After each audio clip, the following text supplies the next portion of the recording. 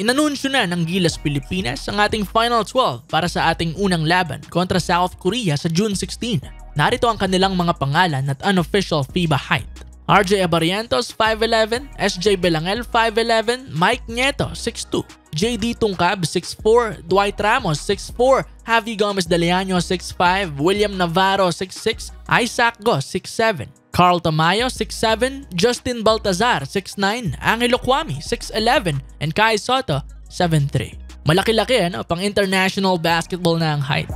Sa mga nag-iisip naman, ang mga hindi nakapasok sa ating final lineup ngayon ay sina Jordan Heading, LeBron Lopez at Jaya Chu. Yung kina Lopez at Chu medyo naintindihan ko dahil mas makakagalaw sila kontra Indonesia kung sakali man ha. Pero katulad nyo, napatanong din ako kung bakit si Heading ay hindi rin kasama. Dahil syempre, isa siya sa mga kuya at merong experience na sa team na ito.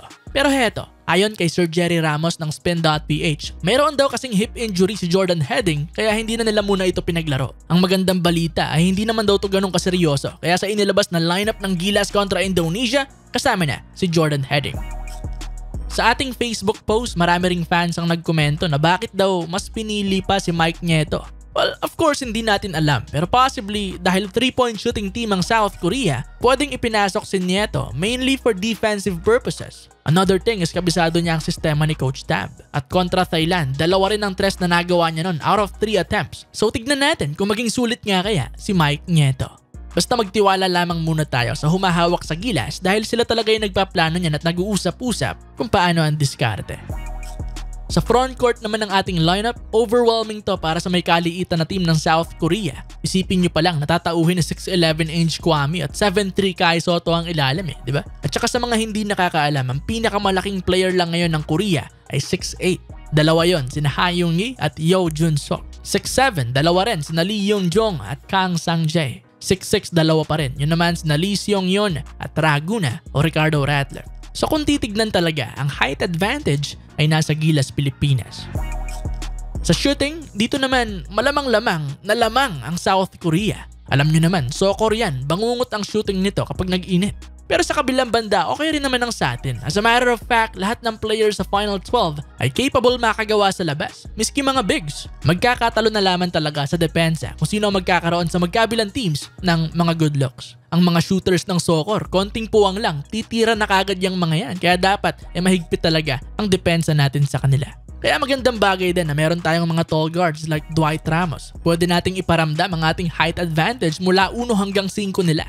Pero easier said than done, di ba? Ang daling isipin, but it's more than that. Kapag maganda rin ang laro ni Cardo sa paint, dalawa na ang poproblemahin ng gilas at papabor yon sa mga shooters ng Korea dahil sa spacing na makikreate ng threat ni Ratliff sa ilalim. Speaking of Ratliff, hindi rin basta-basta magpapapigil yan dahil lamang sa height disadvantage niya sa ilalim. Hindi lamang kasi height ang dapat pag-usapan, pati rin ang strength sa ilalim. Malakas to, pati mga 7-footers pa nga ng China nung World Cup na babacksoutan niya. Kaya tignan natin, sana hindi siya maghalimaw at malimitahan siya ng mga bigs natin. Yon, sa tapatan na ito, I would say na lamado ang South Korea kontra Gilas Pilipinas. Lalo mga bata tong sa atin at mga pro players ng Korea ang makakatapat nila. But I think we have a chance, especially its coach tab system. Pwede pa rin, bilog ang bola, hindi ba? Basta masasabi ko lang tayo ang dehado rito. Hindi dahil wala akong tiwala, but yun lang ang aking honest na opinion. Siyempre, gustong gusto kong ma-upset natin sila, hindi ba? But who knows? Let's lower our expectations. Mga bata natin to para sa future. Kung manalo sa soccer, ayos na ayos. Kung matalo, bawi sa Indonesia. Nga pala, kontra kina Lester Prosper, inilabas na rin ang ating Gilas roster. Pasok doon sina Jeyo Chu, Lebron Lopez at Jordan Heading, habang out naman sina JD Tungkab, Matt Nieto at Javi Gomez Deliano. Yon, ikaw pare ko eh, anong masasabi mo sa ating lineup?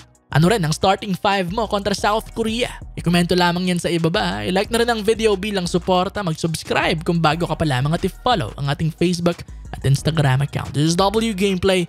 Thanks for watching mga pare ko eh. Bye-bye.